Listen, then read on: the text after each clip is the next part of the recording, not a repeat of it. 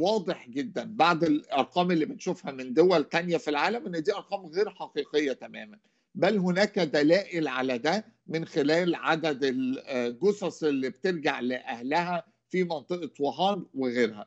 وبعدين فجأة الصين تيجي من يومين وتقدم لنا هذا الإعلان.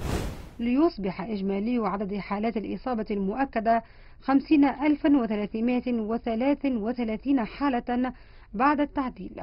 وتمت زيادة 1290 حالة وفاة ليصبح إجمالي عدد حالات الوفيات 3869 حالة بعد التعديل. يعني آه، نحن بنعرف إنه الأرقام بالحقيقة أكبر بكثير من هيك حتى بس هو كثير هام إنه نشوف إنه الحكومة الصينية بالأخير اضطرت تعترف يمكن لأسباب محلية بالحقيقة إنه الأعداد السابقة كانت كثير قليلة.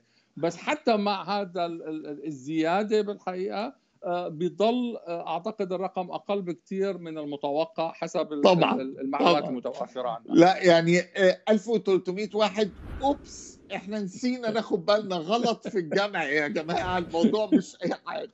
يوم ورا يوم كل ما الضغط هيستمر على الصين كل ما هنبتدي نشوف أرقام حقيقية ومش تهريج اللي هم بيقدموها لنا.